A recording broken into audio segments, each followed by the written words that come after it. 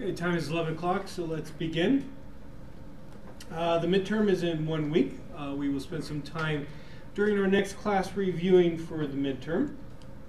Please bring questions if you have them uh, to class next time regarding the midterm. Uh, assignment number three is due Friday at noon. We will discuss this assignment more shortly. Our, and, we, and today we will hopefully finish up the bootstrap section finally. Um, we're just going to talk about regression, regression models and bootstrap. Um, are there any questions before we get started here? Yes. Um, about the project presentation, um, will we need to, if we need to have people download software, will we need to plan ahead to have the students do that before we present? They don't necessarily have to do it before you present, uh, but they. need it for the homework? Yes. Okay, all right. Any other questions? Uh, when we have to do homework assignments, the three out of the seven, I'm assuming that we don't do our own. That is correct. That's the only question that came And of course, you should not share your answer Yeah. key with the other students in class. Other questions?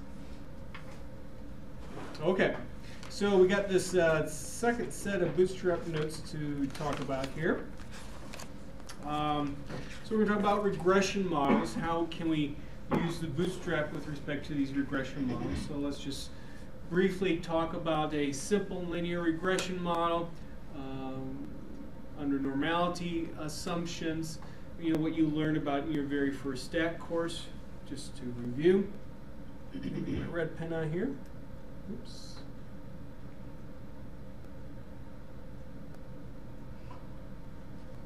Okay, so here's our regression model.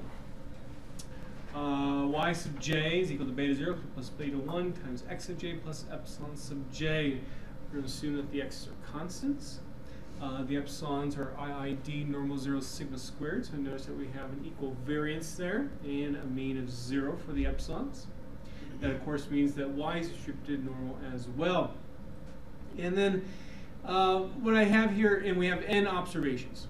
Uh, and so what I have here is next just some of the usual results that you would have with this kind of model.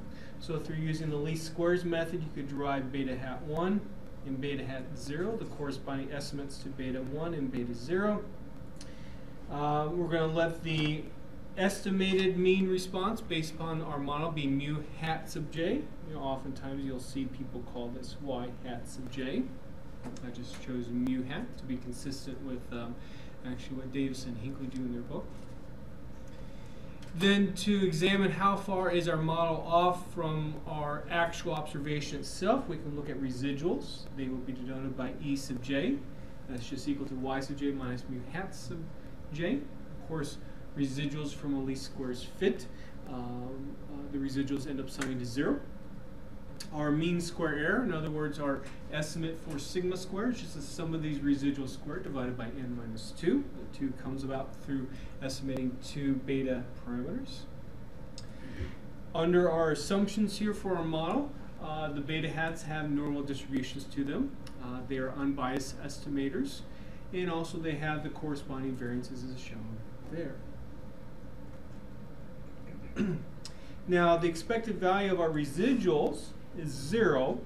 The variance of our residuals is not just sigma squared, it's actually sigma squared times 1 minus h sub j, where h of j is the jth diagonal element of the hat matrix. Okay, uh, this will be an important uh, aspect shortly, uh, given that the residuals are not uh, do not have a variance of sigma squared exactly. Uh, sometimes you might want to consider looking at what are called modified residuals, where you just si simply take your regular old residual and divide by the square root of 1 minus that hat matrix diagonal value. And the reason why you might want to do that is because notice then the variance of r sub j is sigma squared, because what you're dividing by there.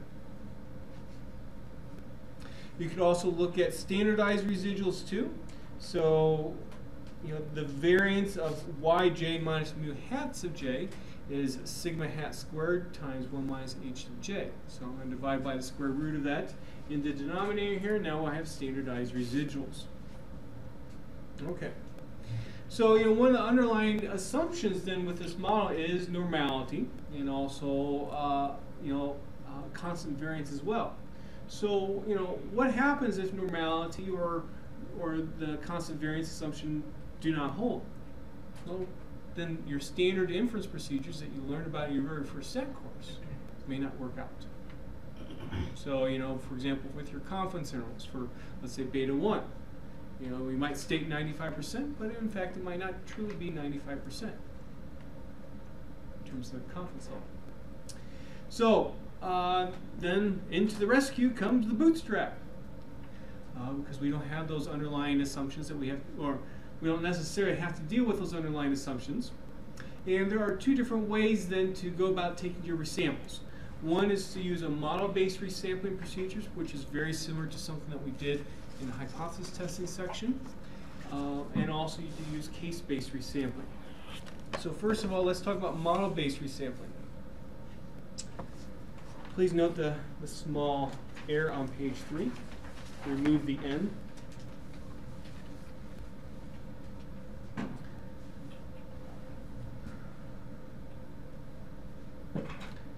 So if this model here is correct, and I don't need to have to worry about normality to do this resampling approach, but if the model itself is correct, I mean I have equal variances still for my epsilons, then we can take advantage of this um, in terms of how we do our resampling through this model-based resampling. And what I'm going to do here is very, very similar to what you saw for approach number three when we did a hypothesis test for the difference of two means. So I should have that up here.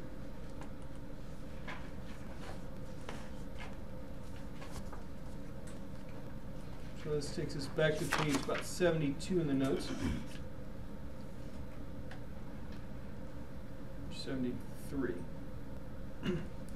so if you remember in this particular situation, so the I subscript on the Y denotes essentially which treatment you could say, or in other words, which group.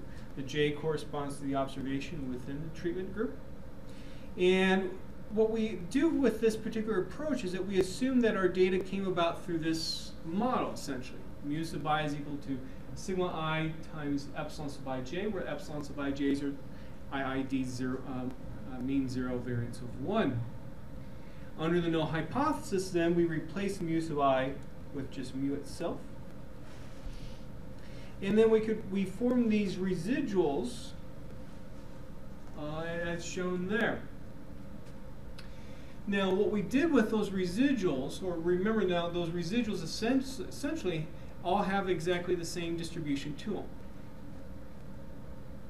And, and so what we did was we took advantage of that aspect and we decided to say, okay, well, let's resample from these residuals and reform and, and, and oops, don't want to do that. Let's just do an arrow. and just reform our model in order to find our y stars, to get our resampled y's. So we took again, a random sample from the E's essentially, we call them E stars, and then plugged in the estimates for the mu hat, I'm sorry, for the mu, the estimate for the sigma, and then we reformed Y, that's how we got our resampled Y's. We're essentially going to do the same thing here for model-based resampling with a general regression model. Okay. So we could resample directly these R residuals themselves the y sub j minus mu hat sub j. Because after all, these are estimating the epsilons. So we could do that. But there's a problem with doing that, and that is each of these e's has a different variance due to the hat matrix diagonal values. Uh, which then is not the same as what we had with our epsilons. Because remember, our epsilons all had equal variance, and that variance was sigma squared. So what we're going to do instead is work with these modified residuals that I showed to you a few minutes ago. Because remember, those modified residuals, after we you know divide the residuals by those 1 minus the hat matrix diagonal values, do have a variance of sigma squared. So we're going to resample from those guys rather than the E's. But we're going to actually do one other little change here. Remember how the E's had a mean of zero? Yeah, that's just a byproduct of doing least squares estimation. Well, that was nice to have a mean of zero because after all, the epsilons had a mean of zero. These R's here, if I were to take the sample mean of them, it's not necessarily equal to zero. It's going to be very close, but not necessarily equal to zero ex exactly. So instead of sampling the R's themselves, we're going to actually resample mean adjusted R's.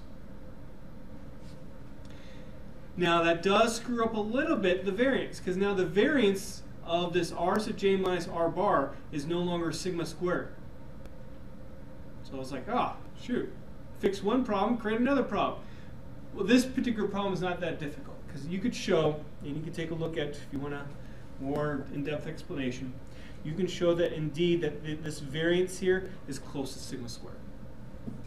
And as n gets big, it's basically this, you can say a remainder term here goes to zero. So that's why we can still work with these mean adjusted modified residuals. So again, all this explanation here is to get to a point where we can say we are going to resample our mean adjusted modified residuals. So let's resample. Then what we're going to do is we're going to take our mu hat sub j from just our regular data itself. So just with your regular data, your observed data, find beta hat 0, find beta hat 1, keep your original observed x's. Form your mu hat. So in other words, all your estimated values, put them there. Then your epsilon j star is going to be resampled from these mean adjusted modified residuals. So just resample them, put them in that model, and then form again a yj star. That's how you get your resampled y's.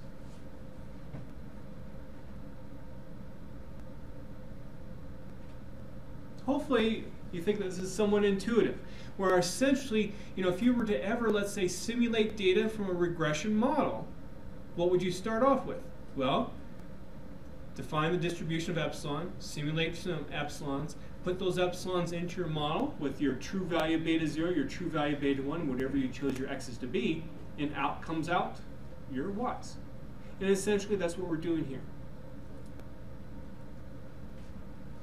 Any questions? Now, one aspect of doing this model-based resampling procedure that's good is that notice your x's here are going to be exactly the same as what was in your original data itself.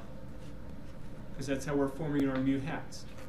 Take your x's from your original data, your beta hats from your original data, essentially, that are estimated, and get your y's. So you could say then, since we often call the, the x's as part of the design matrix, your data here for every single resample is going to have exactly the same design. It's going to be important later on.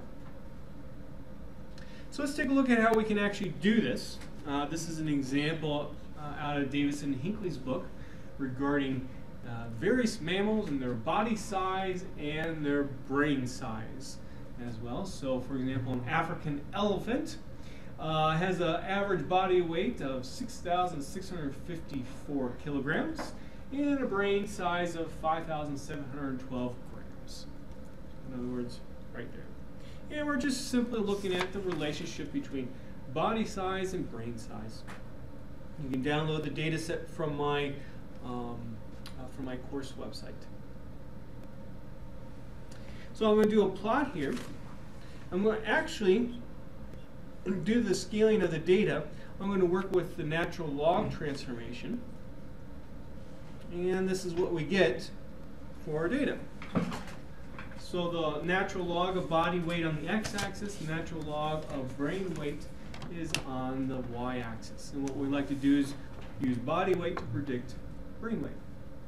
What do you think? Do we have a nice kind of linear relationship? Yes, we do. So that's kind of cool.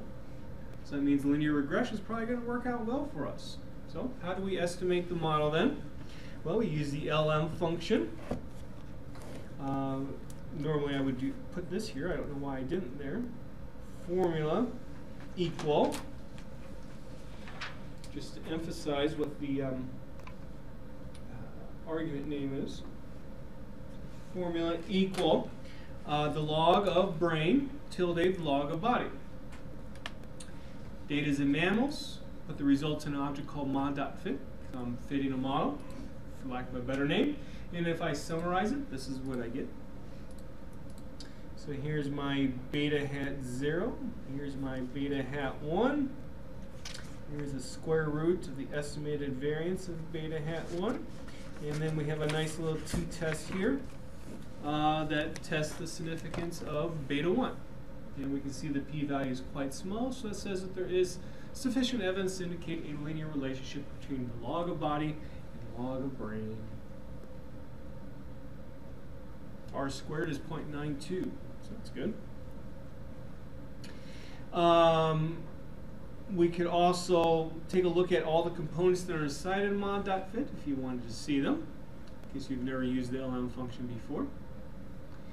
Uh, also, if I use then the ANOVA function with mod.fit, we get the usual old ANOVA table that you get, for example, on the first page of the PROC REG output. Okay. Let's see here. So page 2.7 does give the actual stated model itself. Um, you know, just taking the beta hat 0 and beta hat 1 from the, uh, from the output.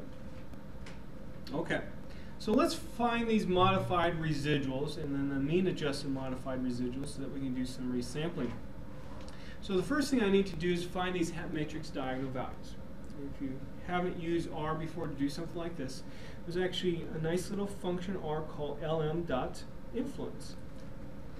So linear model influence. And you know, if you've taken a course like Stat 870, there's a variety of influence measures out there. So this lm.influence calculates a whole bunch of them. And I'm going to put that into an object called influence.stat. And we are only interested in the hat matrix diagonal value, so I'm going to pull out the hat component and put that into h.j. To form the modified residuals then, I pull out the residuals component of mod.fit and divide by the square root of 1 minus h dot j. That goes into r dot j. Notice also I calculate r bar. In other words, the mean of the r's, I get negative 0.0008. Notice it's not exactly equal to 0, as I mentioned before. So that's why we do this little mean adjustment. Typically, in most situations, uh, it's always going to be something quite close to 0.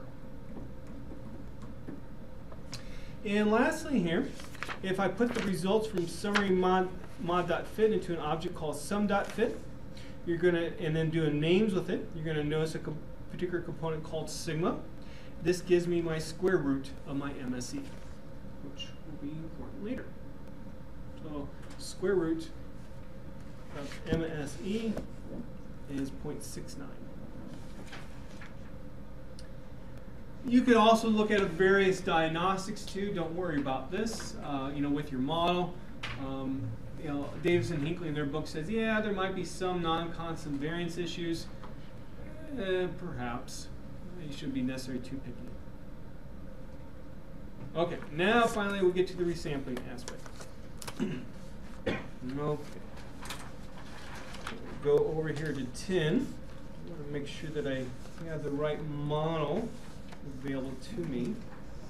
Nope, I do not. Just a second here. Was going through my lecture for my other class before, before this class. And I had written over my mod.fit.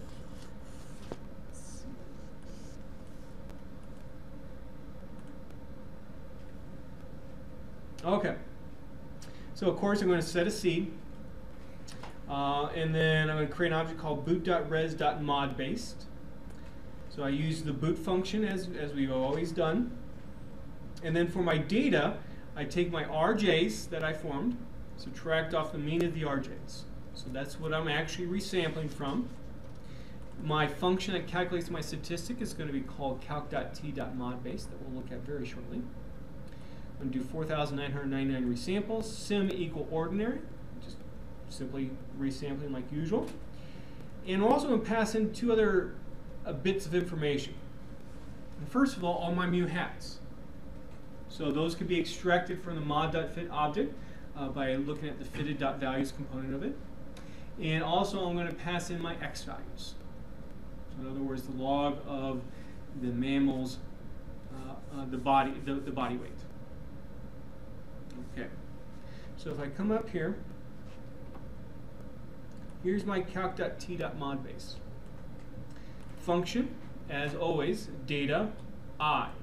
And then here are my other bits of information I need to pass in. First thing I'm going to do is I'm going to create an object called epsilon. These are going to be my epsilon stars.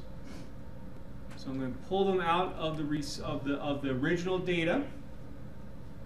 Or I'm sorry, uh, and pull them out of the mean adjusted modified residuals that have been resampled. And then I'm going to reform my y. So this is going to be my y star. Notice I'm going to use the mu hat that we had previously, right there, and I just add to it my epsilon stars. Next, I fit my model to my resampled data. So I use the LM function once again, formula equal, here are my y stars, tilde, my original x's. And that's why I pass in my original x's. Notice since I am using log transformation here, that was already trans uh, the transformation was already done based upon what I passed in. Then I'm going to also summarize the model fit, put that into object. And then lastly, when I'm going to return back my beta hats and also my square root of my MSE. Any questions? Okay, so let's try this out without using the boot function. So I just use my calc.t.mod base, similar to what I've always done when I try this kind of stuff out. Here are my mean adjusted modified residuals. I'm going to use observations 1 through n. And this is what I get.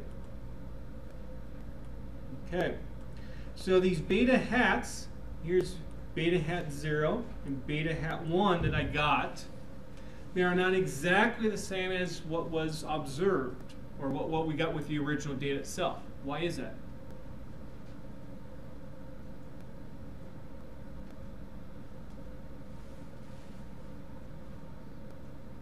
You have to really look at the decimal places there to see that, in fact, they are not exactly the same.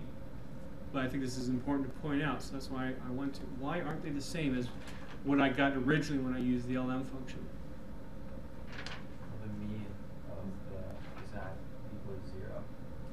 Well, it's not just that. It's, it's the fact that you know, I'm using these modified residuals, and whether or not they're mean adjusted or not, uh, these beta hats are not going to be the same as what was uh, uh, what was got with my original data.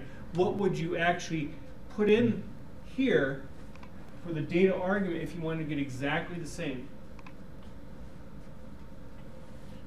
as what, what we got originally when we did the LM function? Your actual residuals, yeah. Because remember, you know, what is a residual? Well, it's y minus mu hat. Okay? Uh, so if you just reorder that, you can see if I take mu hat plus e, I get y.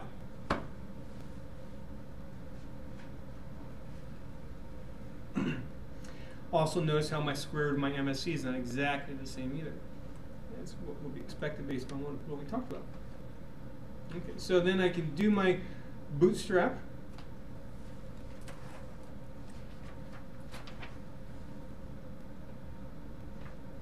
And I guess we don't really need to do it here. I could just simply show you. And so this is what I get. So these original values, remember they will not match what was actually originally obtained with the data. We have estimates of bias. We have our estimated variances, or square root of variances, as we've done before. here is some summaries for beta hat 0 and beta hat 1. So I, I plotted the, the values that are, were obtained from the resamples. Um, and also then I plotted uh, normal distribution approximations. Where do these normal distribution approximations come from? Just to make sure you do realize that. Come back up here. On page one of these notes, remember how the beta hats have normal distributions to them. So to get then um, the normal distribution to plot up there, all I did was, for example, um, I plotted for um, for beta hat zero, I plotted a normal distribution with a mean of beta hat zero and a variance of sigma hat squared uh, times the rest of that stuff. So that's the normal distribution I'm plotting there. Since we don't know what truly beta zero is, or what sigma squared is. The main point though is that notice that, if I eventually get back, normality looks like it works very well for the sampling distribution for beta hat zero. Same thing occurs for beta hat one. So, you know, of course, in a real world real world situation, you never know if you have normality for your epsilons. But what this little demonstration shows us is that, hey, for this data set, things work out well. If you make the normality assumption.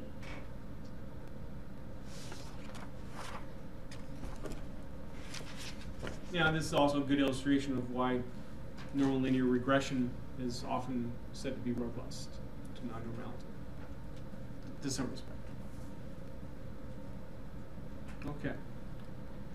Well, you know, if, if I were to do, or how should I put this?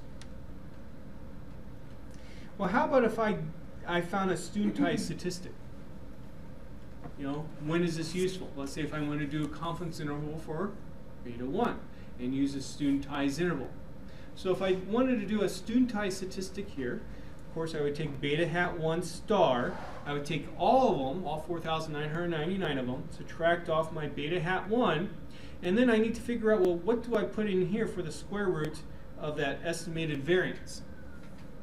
You know, you could use the jackknife, you could use the uh, uh, essentially a double bootstrap, but since we already have uh, an expression for the variance of beta hat 1 itself that one could simply derive, which you probably have all done in some setting before. How about we just simply stick that expression in there, except since I want to calculate this for every resample, I put a star there. So this is this would be calculated, this would change for every single resample. So once I do that then, calculate for every resample, how about, as in, similar to what we've done before, I use the quantile function, type equal 1, find the uh, 0.05 and 0.95 quantiles of these z stars. I get negative point, I'm sorry, negative 1.71 and a positive 1.67. Now, again, normally we would say that this has a standard normal distribution to it. That's what you would want to learn in your very first STAT course. Well, what would be those corresponding quantiles then? Negative 1.65 and positive 1.65. And again, we have a, another confirmation that what the bootstrap's going to give you should be very similar to what you will learn in your very first STAT course. Are there any, any questions about that? Okay. So now we have some questions or I guess I didn't phrase them as questions, but we're going to talk about them like questions. You know, basically, now we can apply all the stuff that you've learned in the first set of bootstrap notes now to here because we have our beta hat stars. So if I wanted to find a confidence interval for beta 1, what would you do? What would be a function R that you would use? Know, boot.ci, okay? You know, you can get the percentile interval. You can get the, well, we just talk, kind of talked about the studentized interval. You can get all that stuff. So that's not difficult. how about a confidence interval for the expected value of y? You know, maybe you wanted to predict that x equal, we'll just be general and say x zero. What would you need to do?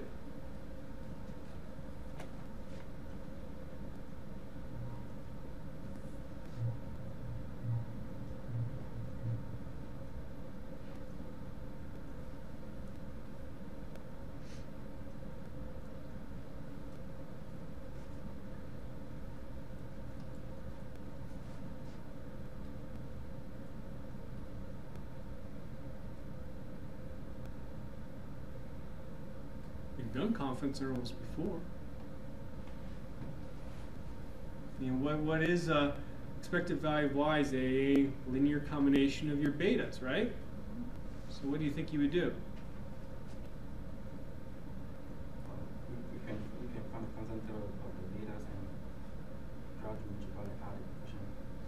So I'm sorry, say it one more time, please.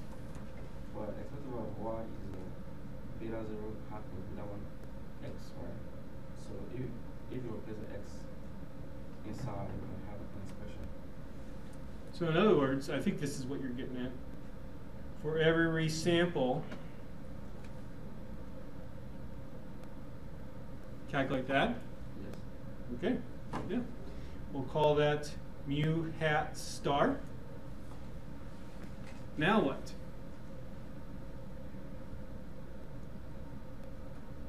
What do we do with beta hat one star, let's say, uh, if I wanted to find a confidence interval? I have mu hat stars now.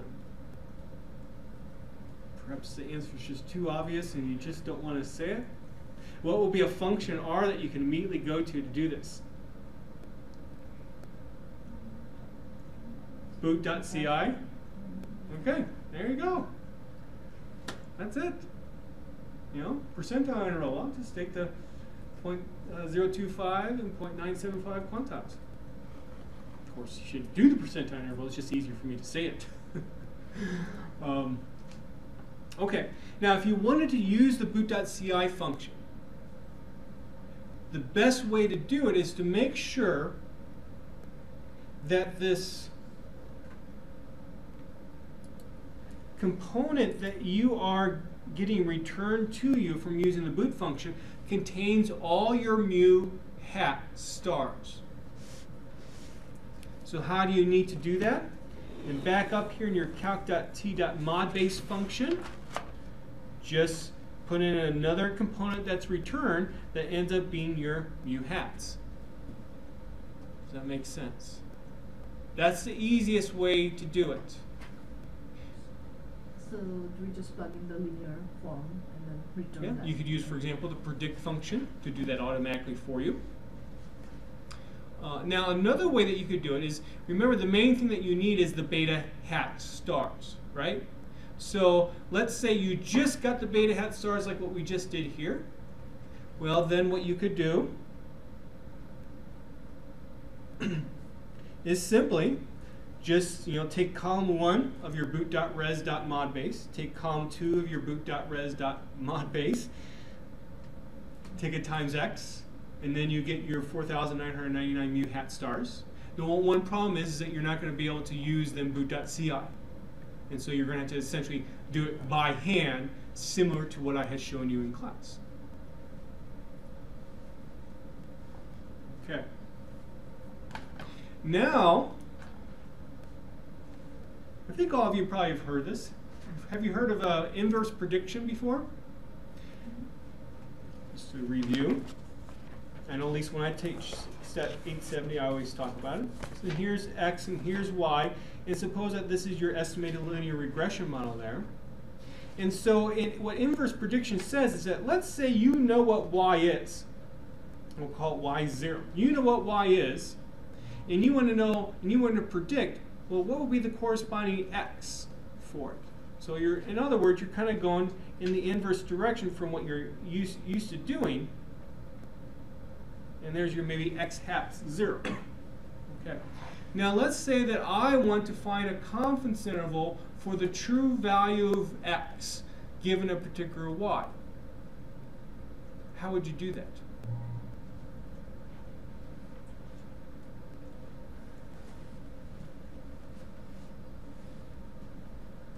And let's say I want to use the boot.ci function.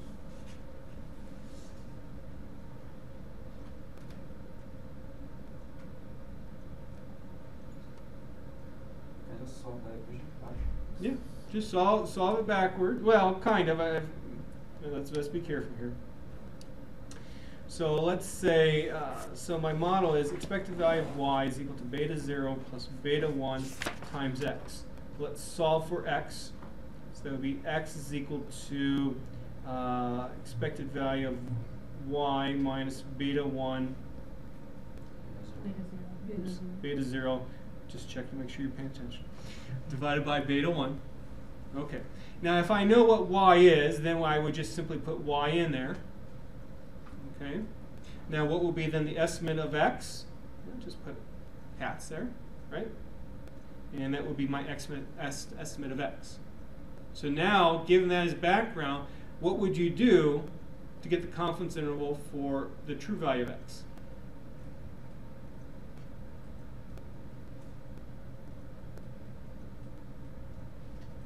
Oh, guys are making this difficult. More difficult than it should be. Just put in some code in there that calculates x hat. Now you also return an x hat. Use the boot.ci function, you're done. That's it.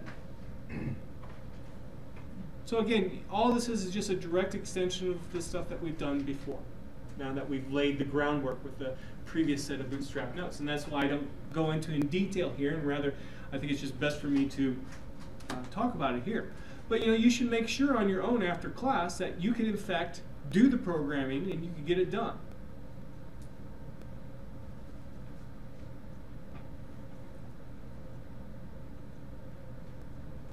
Okay, so we talked about model-based resampling. Next, we're going to talk about case-based resampling. I must admit that this is easier to do. Because that, in fact, you've actually even done this before. Remember with the CD4 data set uh, for, I think it was assignment number, assignment number one? Um, no, assignment number two. Uh, what you did was you simply resampled rows of your data frame. In other words, you were resampling cases. That's all you do here. So let's say if I just had simple linear regression that I was concerned about again, so I have x and y pairs, then all I would do is just sample these pairs with replacement. That's case-based resampling. Quite easy. Now, if you had more than one explanatory variables, well, you basically do the same thing. You take your y and then your, uh, let's say your vector of your x's for every single observation, you resample them together.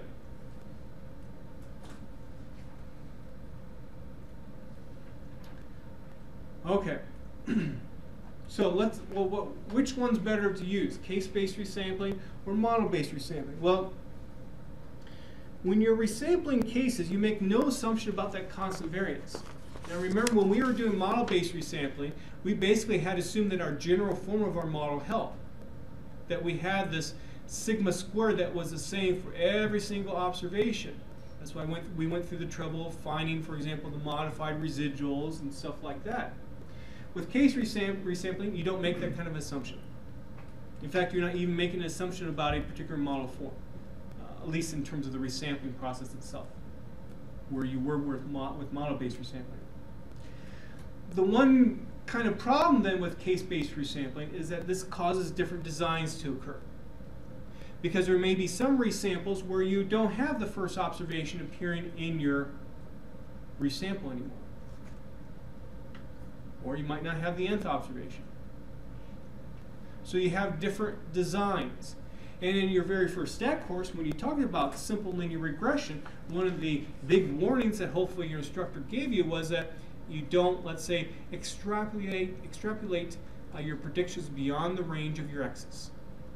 So you can see here, depending upon what your interests are for, uh, uh, for, for your inferences, uh, this is a possibility that you might have some resamples in your data, in, in, uh, some resamples that you obtain that don't have the x's that you're, um, that you need.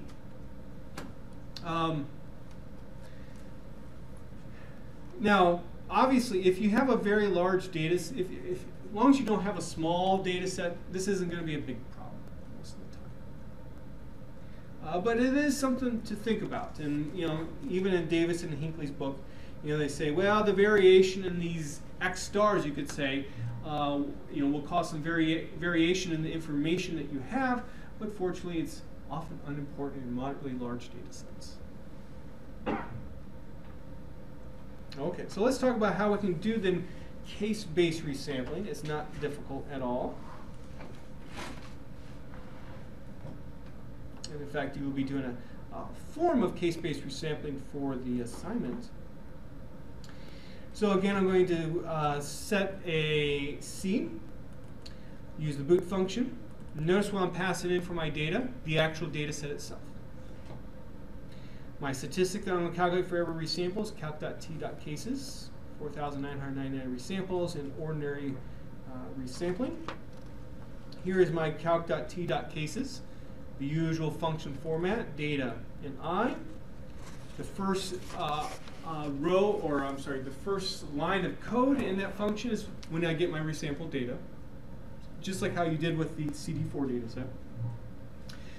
Then simply, I fit a model to my resampled data. I summarize the sample data, and then I return my beta hats and my uh, square root of my MSE.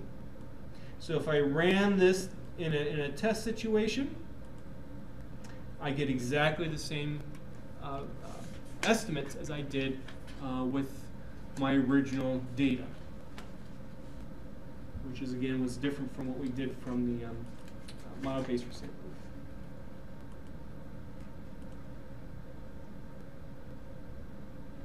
Okay. So we can again do the same kinds of comparisons that we did before.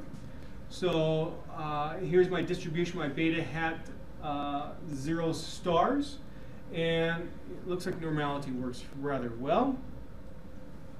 Here's for my beta hat one stars. Normality is not too bad, but you see a little bit of deviations here and here. That's really not too bad. Okay, so then as I say here, you should think about what, did, what could be done next. How would you find a confidence interval for beta 1? How would you do confidence interval for expected value y? How would you do, for example, inverse prediction? And it's just, it just carries forward to what we had discussed before. Okay, are there any questions? Okay, that takes us then to page 15. Now, one thing that you have to be a little bit careful about when you're doing, using the bootstrap with, um, with regression models is with prediction intervals. Um, prediction intervals are not going I'm not going to test you over this because we need to move on, but I just want to at least alert you to this so that if you end up encountering this in some of your research or in applications later, you know to be a little bit careful. So now, you know, prediction intervals, um, you know, a little bit different from what we call confidence intervals in a regression setting. Where confidence intervals in a regression setting, we're looking at the expected value of y. Here with prediction intervals, we want y itself. We want an interval for that. Um, and so let's say that we want to do this prediction at a vector of x's. We'll call it x plus, just to emphasize the pluses are to emphasize that, yes, this is maybe a new observation, and we want to predict what y will be for this new observation and have a certain level of confidence with it. Now, based upon our regression model, again, think of x plus as a vector of our x's and beta as a vector of our betas. Uh, hopefully I said that right. x plus is a vector of our x's and beta is a vector of our betas. Um, so this is how you would find then y plus.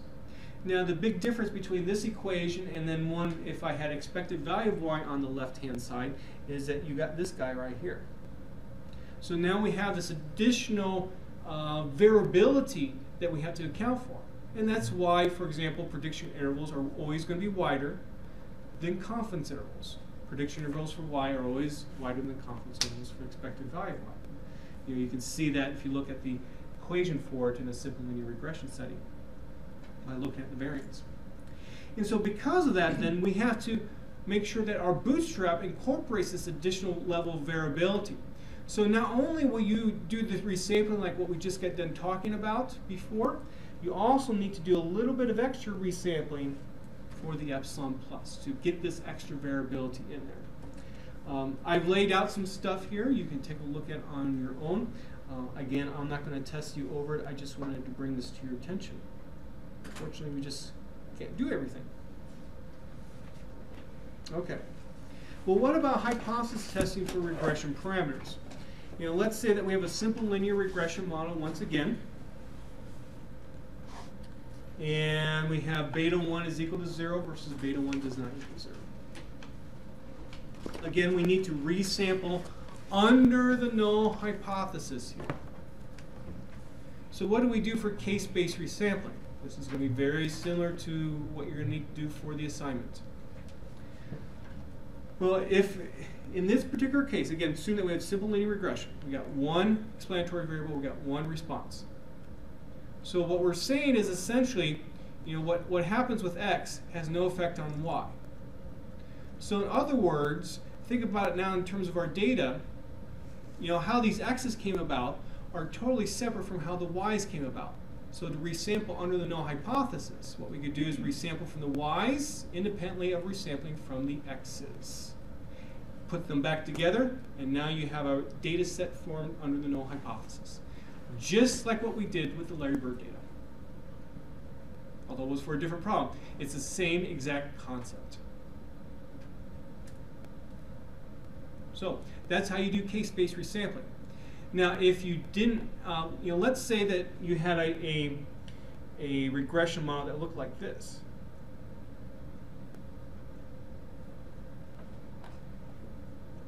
So now you have two explanatory variables, and you wanted to test in your null hypothesis beta 1, sorry, that's so messy, beta 1 is equal to beta 2 is equal to 0 versus at least 1 is not equal to 0. How would you do the resampling in that case for case-based?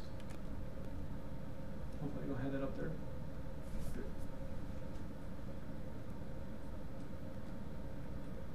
Or resampling cases. So resample independently from your y's. Now for your x's, you have two x's that you have to worry about. So essentially you resample the rows. Resample from the rows for the x's par, x part of the data frame. Because again, we're resampling cases. And so we're looking at an overall measurement of are any of the x's important or not. Now, what becomes a lot more complicated is let's say I still had this exact same model here, but now I only wanted to test maybe beta 2. Then things become more complicated. Um, and I kind of talk about how to do that uh, in the notes. Take a look at my full set of not stat 950 notes if you want to see um, better examples than what I have here. Okay. Now, if I want to do model-based resampling then, and if I want to test, again, back to that simple linear regression setting, let's say I want to test is beta 1 equal to 0 or not. Well, what, what's our model under HO? Well, beta 1 is equal to 0. So this is what I'm saying my model is under the null hypothesis. And so what I need to do now is basically find my residuals, and then also our modified residuals, and then also the mean adjusted modified residuals by fitting a model, by fitting this model to my observed data. Resample from those mean adjusted modified residuals, and then put them back into your model to get your y stars. Once you got your y stars, now fit your full model that has x in it. Because again, what you need to do is you're trying to estimate the sampling distribution of beta hat 1 under the null hypothesis. That's why you have to go back to your original data, or your original model itself.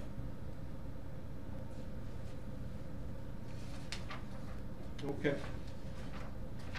I am not going to ask you questions on a test about how to do hypothesis testing with respect to the bootstrap and, and regression models.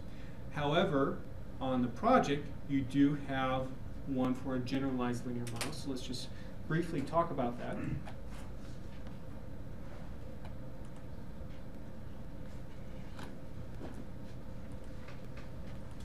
Okay, so if you remember with this data, I don't need my ruler. So we basically have two treatments, beer or water, and we're looking at these binomial counts as our response, the number of mosquitoes that are attracted to an individual. So the first observation, 27 mosquitoes were attracted to the first individual, 27 out of 100. And so what I ask you to do then in part, yeah, E, is to estimate a logistic regression model using the GLM function, response as the response variable, treatment as the explanatory variable. Are there any questions about how to fit that model? Okay. Um, I asked you also to perform the regular old uh, likelihood ratio tests as well, with a, and then use a standard chi-square approximation with it. Now we get to the bootstrap part. So let's perform a bootstrap test using case-based resampling. So again, you're going to have to resample under the null hypothesis, just like what we talked about. So your x's here are treatment, your y here is the response. So you need to resample from those, um, uh, essentially you could say the vectors of data independently, put them back together into a data frame, and there's a data set formed under the null hypothesis. Fit a full model then to that data set.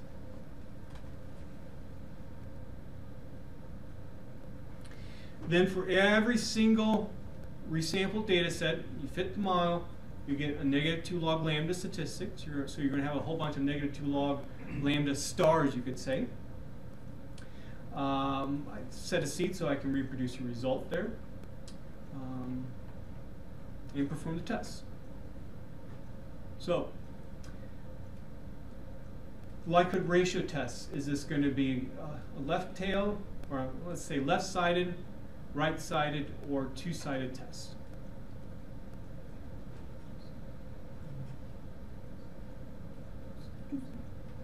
No, not two-sided. Right side. Right-sided, yeah. Because remember, only large values indicate evidence against the null hypothesis. So what you're doing then with this p-value that you're calculating with the bootstrap is you're looking at how extreme is your observed negative 2 log lambda that you got relative to this distribution that you have essentially simulated under the null hypothesis. And then part three then will give you a nice little visualization of this distribution. So construct a histogram of all these negative 2 log lambda stars. Um, plot the, the observed negative 2 log lambda and put the appropriate chi-square 1 distribution on it. And tell me, what do you think? Do you think uh, chi-square 1 approximation is justifiable? Based upon what the bootstrap said.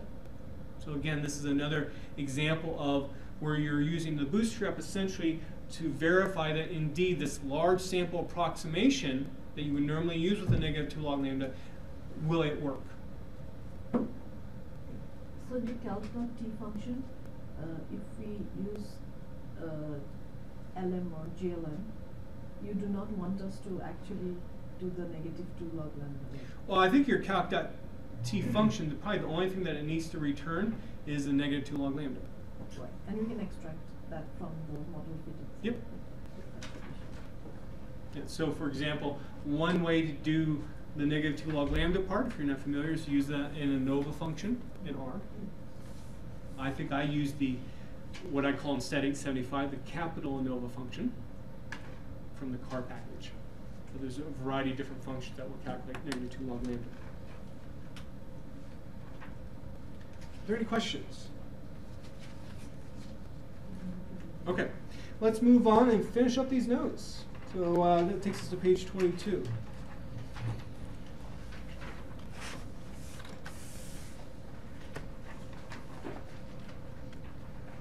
Okay, so some final comments.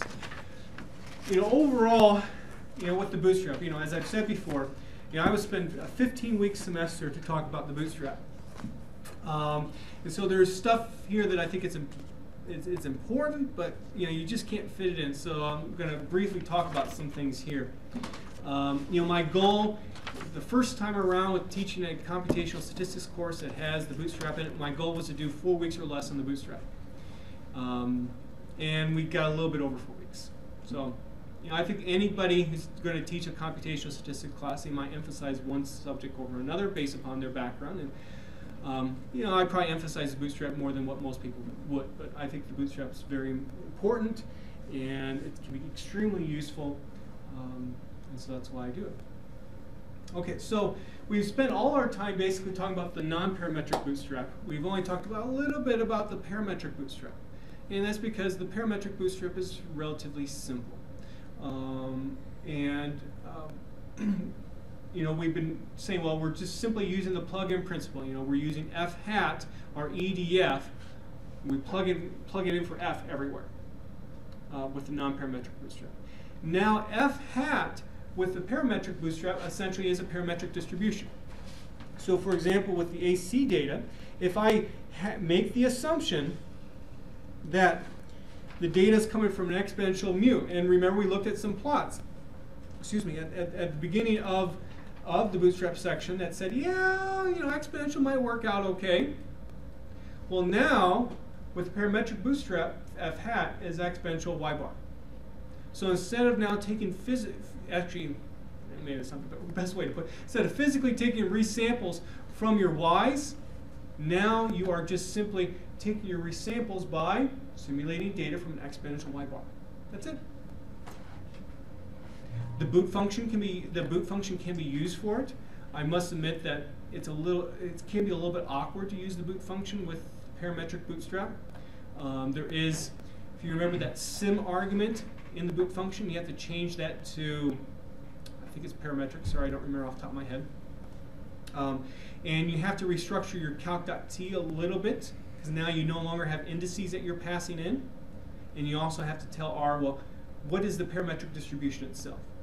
So uh, if you want to see examples of how to do the parametric bootstrap in R, take a look at my chapter 2 notes uh, uh, for STAT 950. Uh, as I said, it can be a little awkward using the boot function, so it's oftentimes it's just easier just to program it without the boot function.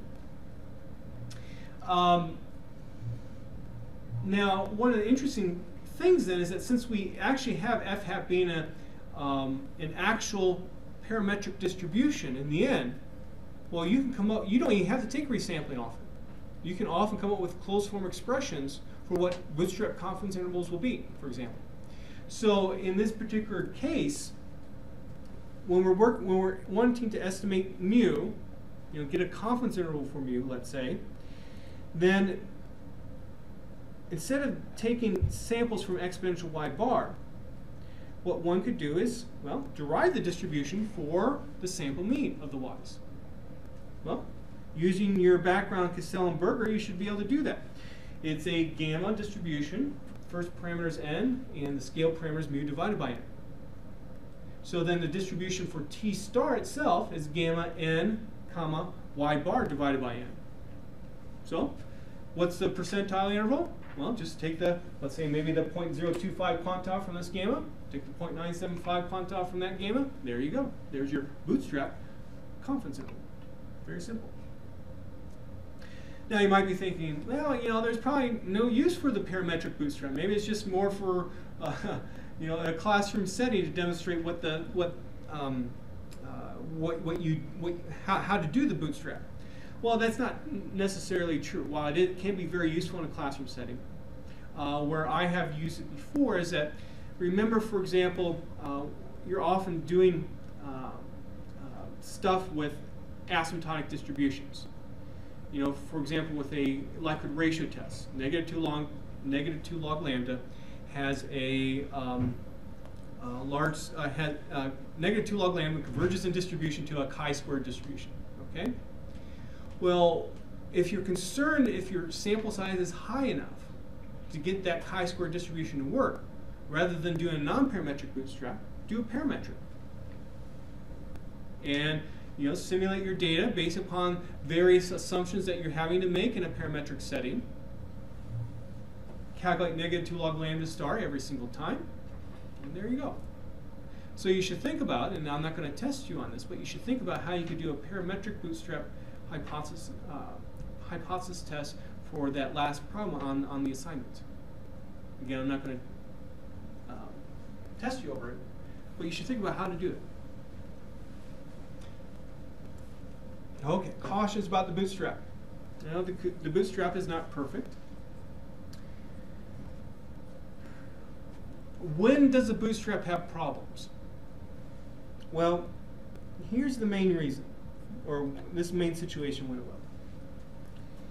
Small changes in F, so your CDF of your original data, causes large changes in G. And we think of G as maybe the distribution of T, or statistical interest. If that happens, you could have big problems with Bootstrap. Well, why? And it, it all comes down to this plug-in principle then. You know, if you're plugging in f hat into your statistical function, and due to small changes of f hat, your statistic itself changes a lot, think about how that's going to affect now the bootstrap. So everything relies on that f hat essentially. Well, where's a case where this occurs? Order statistics. So let's say for some reason you wanted to estimate the nth order statistic. Don't use a bootstrap for that. Because think about what will happen to that there are particular small changes that could happen to f that could really change what that largest order statistic is. And because of that, it, you can have some big problems. Um, there's a nice example in my chapter two lecture notes uh, where I basically illustrate kind of a special case of what Davison Hinkley talks about for an order statistic example. So, what we want to work with in, in terms of the bootstrap is smooth statistical functions. What that basically means is that small changes in f cause, cause small changes in your statistic. Or your parameter too. Um, here's another place where problems can occur with the bootstrap. Now remember how we've been talking about taking resamples. Basically, we're taking a random sample from f hat. Well, let's say that your data itself has some underlying dependence. Like maybe, for example, in a time series situation where you have the value of y at y at time n is dependent upon the value of y at time n minus 1. Well, you in that particular case, you cannot just simply take resamples like we've been talking about before. And so you have to take resamples in a different way that account for the dependence that is in your random variables. Um, and so there are a variety of different ways that um, where this can be done, or ways to do this. So, for example, with the time series data, you might uh, resample blocks of your data. So maybe uh, uh, uh, take blocks of size 10 of your y's and resample those, rather than resampling one y at a time. That's called a block bootstrap. And then lastly, so much of the underlying mathematical development of the bootstrap relies on things called Edgeworth expansions. And this all gets into then using asymptotics to show that indeed the bootstrap works. You know, we I, I, I introduced some of those kinds of concepts to you earlier in terms of talking about f hat in the um, Monte Carlo simulation section, how f hat is a good estimate of f. And we talked about various reasons why. Uh, but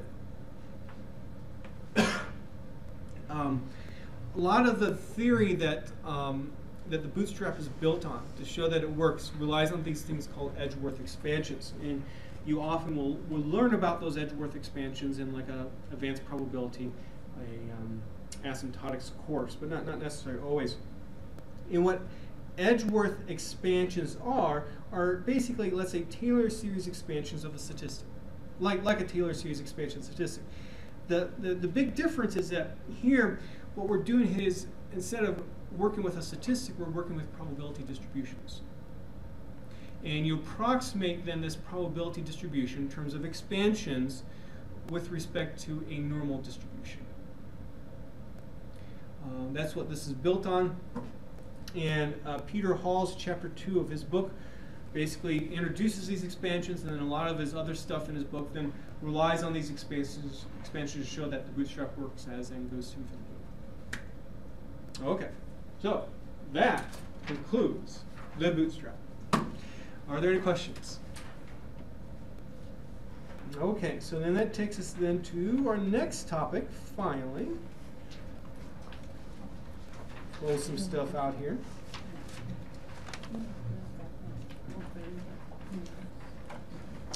So next, we're going to talk about parallel processing. Let's uh, just do a brief introduction here, since we have time.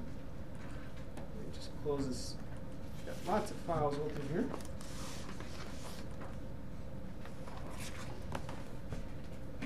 Ah, for some reason I did not open. I thought I had my notes open. Okay, let's see here. Wrong class.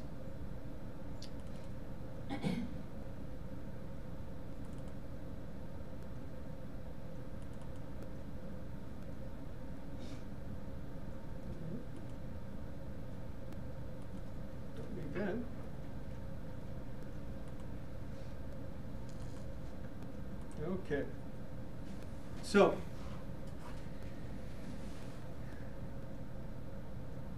we are going to talk about parallel processing in the context of what are called embarrassingly parallel settings. The one that we will focus on the most is Monte Carlo simulations. Okay, so with respect to a Monte Carlo simulation, you know, let's say what happens for, so let's say that you, you take, um, you form capital R different simulated data sets. So you're doing capital R simulations. What happens on simulation one is not going to have an effect on what happens on simulation two. It's not going to have an effect on simulation three or four and so on. You know, your calculations are not going to change. These are essentially independent data sets that you're getting for every single Monte Carlo simulation. So what we've been doing so far is that when we do those Monte Carlo simulations, we use simply one, I'm going to call it, um, what's the word I want to say? One processor, we'll call it that for now, one processor on one computer, and we do these in order. So we do simulation, uh, we do the simulation one, we do simulation two, we do simulation three, and we do that all in order. But since simulation three has no effect on simulation one, you know, a way to speed up these computations is that maybe what we could do is send simulation one to another computer, send simulation three to another computer, send, send simulation two to another computer, and so on, and actually distribute them. And then in the end, once those simulations are done, you bring them all back together and you summarize what has just happened. That's what I mean by parallel processing. Things are happening in parallel, but they're happening on, let's say, different computers. The advantage of that is that you can have great speed reductions or, or time reductions, I should say, for how long your, your things are going to take, your Monte Carlo simulations will take. So instead of using one computer, we could use as many as we want, or many, as many as we have access to. So uh, let me actually show you a diagram here. So this is might, might be what you have. So maybe this thing that's in the, called the master, maybe that's your computer that's essentially controlling all your Monte Carlo simulations. And let's say you have 1,000 uh, Monte Carlo simulations to run, and might send 250 of them to one computer, which we're going to call worker number one, 250 of them to worker number two, 250 for three, and 250 for worker number four. Once those are done, they come back to the master computer. They're all organized together, and then they're summarized, just like how we've done summarization before. That again is parallel processing. Originally, this is how people did parallel processing completely, where you had maybe five computers to do this. You have workers, and you have uh, master, a master computer. Uh, you can even think of your master computer could be a worker itself. So now maybe have 200 simulations on each computer. Then about, I don't even have the notes up. Then about in 2006, multi-core processors started to come out. Someone tell me what a multi-core processor is without looking at my notes. Computer with multiple cores on it. Yeah, a computer with multiple cores, but what, what do I mean by cores? Things that can compute. Things that can compute. Eh, You are correct. Okay. Uh, you can almost think of it as basic computers within a computer. So, you know, in, your computer, this is my computer here, uh, you have a, a, a chip. Okay? Inside this chip, basically, you could have, let's say, uh, additional chips uh, that can, can control on its own uh, calculations. So, like for example, my computer here, uh, it, it's, it's a multi-core processor, and it basically has two parts to that multi-core. And one part could do, let's say, um, one part right now is actually recording this presentation. And then if I want to, let's say, use R, then the other part will simultaneously run R separately. And these two things can be occurring exactly at the same time. Your computer is not going to slow down at all. Because I have two, you could say, mini computers within my original computer itself.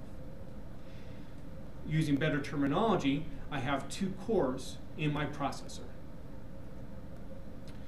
Cell phone, and so this was a, starting about 2006. All computers, all like desktop, laptop, tablets, are have multi-core processors.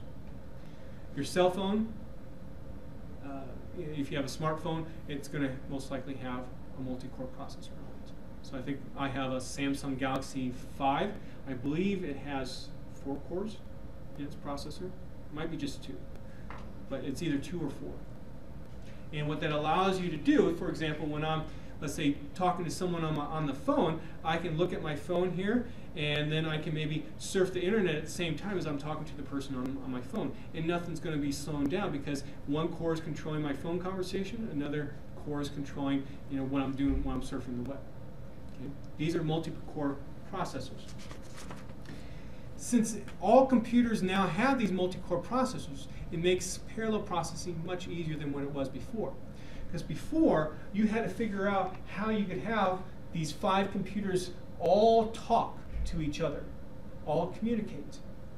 Now, since essentially everything is inside one computer itself, the communication is a lot easier and even faster. And so what this has allowed people to do is take parallel processing to beyond, you know, let's say experts in computing. Um, just anybody you know, can easily do um, uh, parallel processing because everything is embedded on one chip. Okay, so what this section right now, what we're going to talk about is parallel processing using one computer that has a multi-core processor. The next section after this, we're going to talk about high performance computing. And basically what that means is now you're using um, computers that have a lot of cores in it, and also maybe you could use a uh, multiple processors that have multiple cores all at the same time. And that's then using the supercomputers on campus. So this parallel processing, show, again, shows you how to do, this parallel processing section will show you how to do it on your own computer. And then the next set of notes will talk about the supercomputers and doing parallel processing on that. Are there any questions? Okay, that's it for today.